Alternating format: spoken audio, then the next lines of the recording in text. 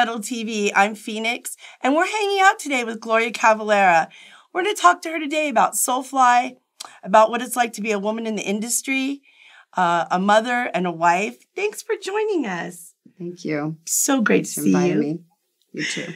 Um, one of the first questions I want to ask you is when you booked your very first show at Bootleggers, did you have any idea at the time that you were embarking upon something that would be a career that would span over decades? No, not at all. It was just, uh, it was actually my brother Paul. A garage band had come in and asked if they could just play in the corner of the restaurant area. And so Paul pushed back the pool tables. They tucked the band in there one night and the place was packed. And so Paul was like, let's do this more often. And so we started the all ages shows. He he also realized he was like, we're just like Denny's, but with a band. And so we had a division in the middle of the club. So half of it was for the drinkers and the other half was for the the miners and had people that just came in to see the bands. And then we started doing bands every day. But we didn't have a clue. I mean, now when I look back, it's I realize it was like my elementary school. It's where I learned everything. Do you think it was harder to be a woman in the industry when you first started out than than it is now? No, I think it was easier when I started because everything was fresh. There was a, a big amount of unity among metal. You know, it was like it was a different time right than right now. I mean, for I guess for a lot of new bands, they would say, "Oh, no, it's still the same." You know, so maybe it is for them. But I just think like uh, music really tightened up. A lot of the women are gone for one reason or another. You know, I mean, there's a lot of new people that I know that are starting to to do well with their with their bands. So I, I'm kind of hopeful for a couple other women that I know, and also like uh, back then, people bought the records. You know, like they would go wait outside the the store two days before. You know, people would call us from England from this record store or from Florida, and they'd say, "Oh, people have been lined up for this long," and you know, all of that's gone because now people just line up for the torrent sites, you know, which which really affected music, all all forms of music and all artists, all record labels. I mean, that's why there's no no in stores autograph signings anymore because those were set up for fans to meet the band, but they were set up to sell CDs. So people come in now with things that they printed off, or they'll even bring a burned CD you know for for you to sign. And so it, it really made things difficult for for artists because things that you used to be able that you knew you know your fans were there to show support to to be fans. I mean they you know they are supposed to purchase the music. And you know max doesn't steal from his fans. He doesn't call a plumber and say hey, you're my fan. You came here last week. Can you come and do my plumbing for free for the next year? You know what? You made enough money. Sh- plumbing should be free. Or or walk in an art museum and say, "Oh, I'm going to just cut out that painting because that's art. That should be free." You know, that like that whole mentality kind of changed music and how how managers manage and things that band members have to do. You know they have to do meet and greets now. They have to be very creative to to earn money to properly tour. I mean i there's so many bands that we have asked to to accompany us to europe on on support slots who are unable to go because record labels don't give the tour support anymore. You know they used to there used to be a lot more opportunities to get your name out to market yourself. I mean, people say, "Oh, now marketing's free, it's online." It's it's one part of what you need. You still need all the print. You still need whatever TV you can get. You need the radio play. I mean, there's a whole big big caboodle. You need to have every single thing. So it it it made it very different. I wouldn't I wouldn't say like I don't want to cast a dark side on anything. You just have to learn to do things in other ways, you know, to to be a musician now. But it it is very frustrating for labels and it's frustrating for artists. And I've I've seen several different bands be disappointed with with the work that they put in. I mean, they have to recoup the records and Right. it's you know they if they put a a cheap sound on the record everybody will complain about that you know so it's it's kind of a circle that needs to be sorted that hasn't been Would it be safe to say that you, along with Sharon Osbourne, uh, Wendy Dio, Maria Ferrero, helped to carve a place in the industry for women managers? i would say sharon and wendy gloria butler for sure for women managers. Maria's new i believe to management maybe in the last 10 years or so but i think those those three women very much contributed. Susan silver too. She did soundgarden at the time. Right. I but, but i really think sharon and wendy and gloria were really the the front runners who opened the doors. I mean i i've always looked up to to every one of them so i was i was after i was after them so what advice would you give to women that are just starting out in the industry? Hmm.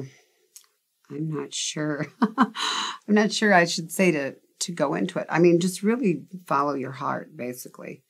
Believe in yourself because if you don't, you know, you have to get a real thick skin to deal with everyone. All the, you know, there's as many compliments that you get, there's more aggression towards you. Like there's very unfair unfair things are said to women, I believe that aren't said to men. You know, like if you go on a tour and a man loses his temper, everybody's like, oh, we got to do what he says. But if you go on tour and a woman is like, hey, you need to do this, some people will just be like, you know, insulting. Wow, that's interesting. it's true. It's true. When was the very first moment that you knew Max was your soulmate? It was on a ferry and he was went walking by one time all of a sudden I was like ding. But um and then I think I don't know.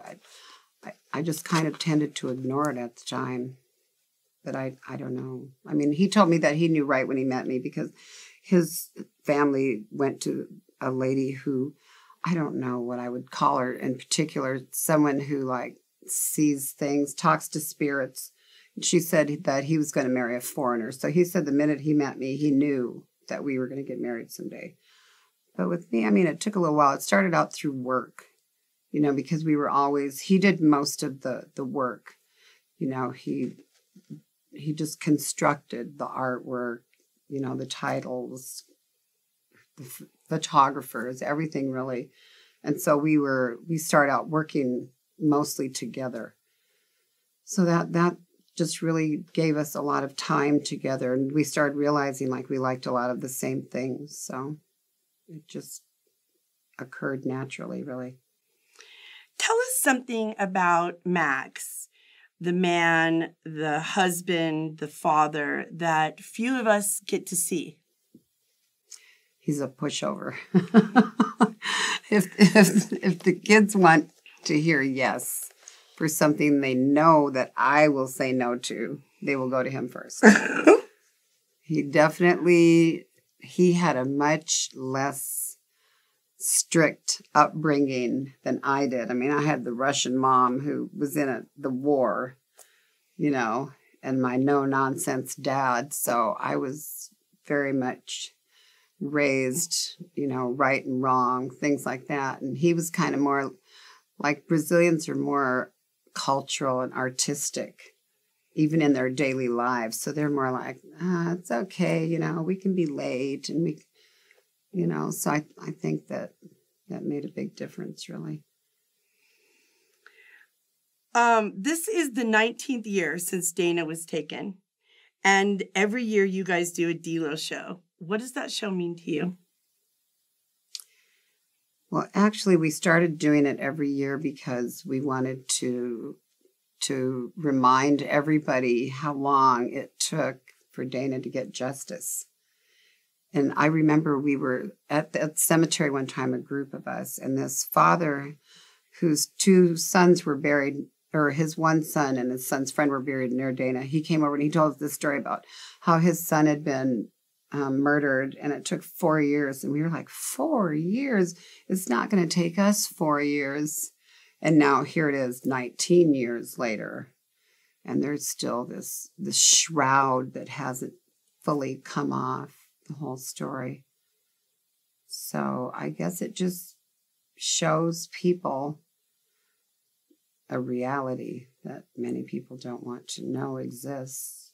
I mean, change my opinion about some police officers, about justice, about courts, just about how things are handled. And probably every one of our children. I mean, they were all we were all there through that whole time period. So and so the Delo show kind of serves to remind people to keep it in the forefront until until the, the people are caught. Well, I mean, it just shows, I think it just shows now like metal kids don't really get a lot of justice. I mean, nobody, the first time something happens, you know, they look, what kind of music did they listen to or what kind of shirt was he wearing? Or, right. You know, it just, it signifies a lot more, I think, after existing for 19 years than it would have when we first started. You know, we thought we were going to end up doing like two, three, four shows you know. But now we really see, you know, like I've I've been very active with with his case since day one, and it just really shows a different side of the world to me now. You know. Does it does it ever get easier the loss? Mm. You know, you you car you put it in a compartment you know, I always say I have this old fashioned Rolodex in my head and it's just flipping back this way and back and forth all day. And I like as soon as as soon as it happened, like I knew there were things that didn't make sense just in the situation immediately. I knew there were things that didn't make sense.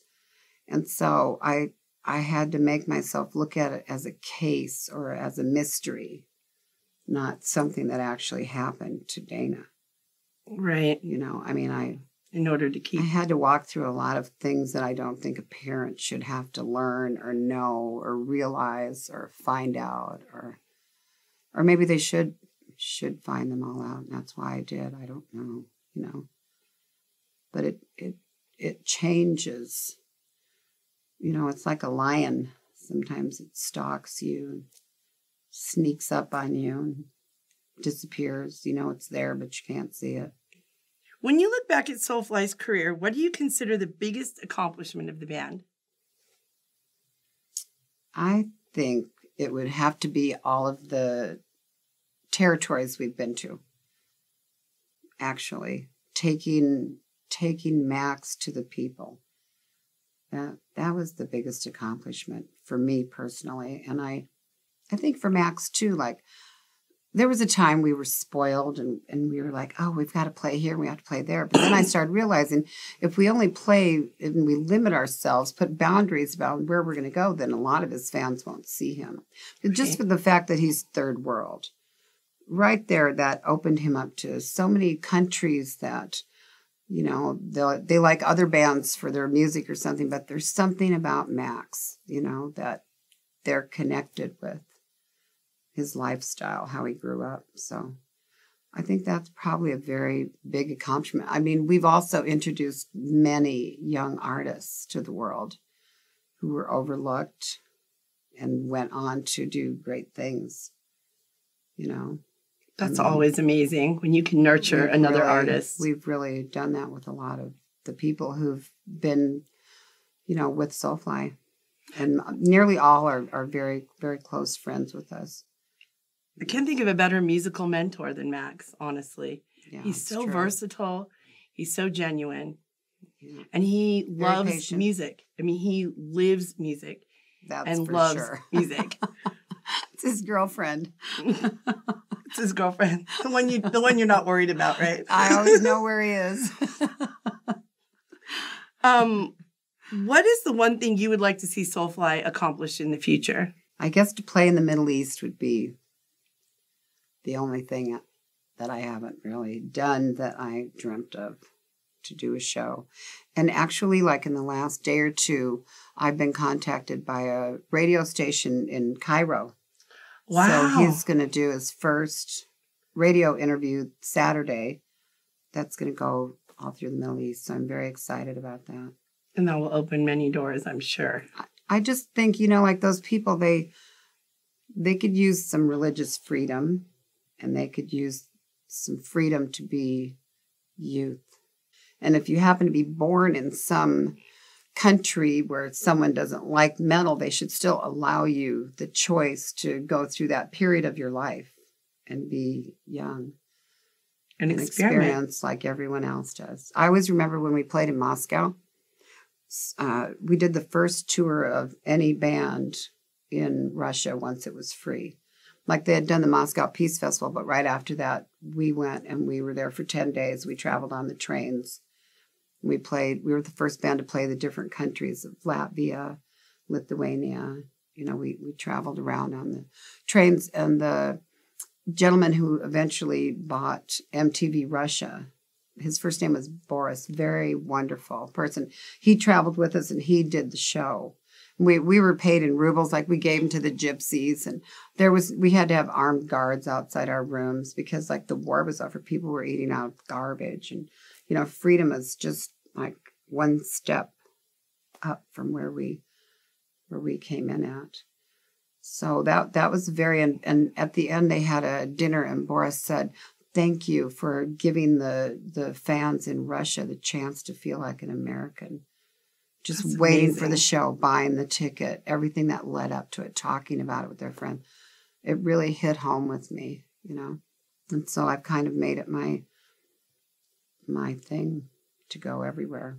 And I believe that when Max is touring these places, the music is giving them freedom. It is. Even not permanent freedom, but it is giving them freedom for the Yeah. moment, for the time that they get the ability to enjoy it. It's very true. We're all connected through his music. I mean, really, you know, I've on I've got so many people now that I know in Iran, Pakistan, Afghanistan, Syria, even people on Facebook who I'm friends with now, and I've I've learned really a lot. I mean, they they straight up have a law that metal is Satanism, which it's not. Correct. Right. So, you know, just like I think countries should be more modern in this this age of the world. I agree with that. my And. I agree with that. And I think that this is definitely a opportunity to embark upon that it's through true. music. It's true. Are you sick and tired of being asked about a Sepultura reunion? I very rarely get asked, but Max is very sick of it.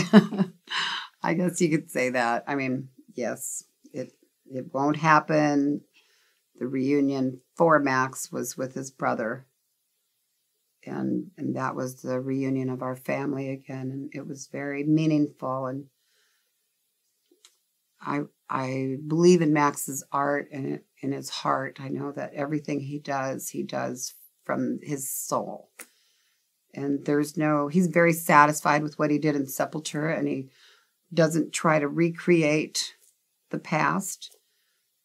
He creates the future. I think Max's career in, in the evolution, and when you look at the different bands, they're they are not similar. These are all different extensions of Max's musical talent, and they're all different. Tell us a little bit about the new Soulfly CD, um, Archangel. What's your, something great favorite? What's your favorite about it? Mm, just the whole overall concept. It, it was very meaningful for Max to to make that record. He has a his religion. This year is the year of Saint Michael, and so it was it was very important to him when he was putting out Soulfly Ten that he related it to to his life. You know, a lot of his records are really about Max's life, what's going on around him at the time in the world, in our house, personal things. And uh, just the whole the whole concept to see him working so hard, like, you know, I, I always have my questions. I'm a Libra, so I'm always like, what if this or that or da da da? And then he was like, you know, don't worry, I'm just telling Bible stories, you know, old stories from the Old Testament. But I I was a little, you know, like, how are the fans gonna gonna do this? But then when I saw the cover, I mean, the cover was just like, this whole thing is meant to be. And he was just so sure of himself and everybody loves it. We can't wait to go out and play it on the road. I mean, everyone did a great, great job on that record. You know, working with Matt Hyde was was very educational and and just very cool. He's very cool. The whole his whole package, his group, his studio, the people that work with him. It was just really very positive the entire way. So all the different when nails, when Todd Mm-hmm. from nails, I mean, he scares your heart out. It's just like God's talking, you know. It's really, it's really exciting. I think. Exciting record. When you look back on your career, is there anything that you wish you had done differently? Mm, Not really. I feel like I'm at a really good place. I'm super peaceful with myself. I'm comfortable in my skin. I just, I don't feel like I really did anything that I want to change, to be honest with you. It was all, I'm kind of one of those, like, I believe when you're born, like, your path is already carved, and hopefully you see it while you're walking on it. So I don't I don't really turn back time much. Just move forward. Just move forward. Thank you so much for hanging out with us today. We really you, appreciate it. Thank you for tuning into FeMetal TV. Make sure to pick out the no, the new Soulfly CD Archangel. Stay tuned. Stay metal.